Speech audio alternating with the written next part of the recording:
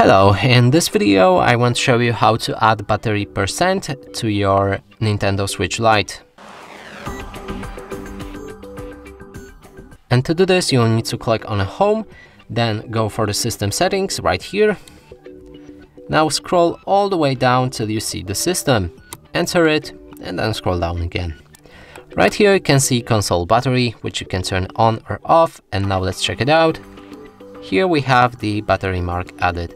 And that's it for this video, hope you like it, please consider subscribing to our channel, leave a like and a comment below.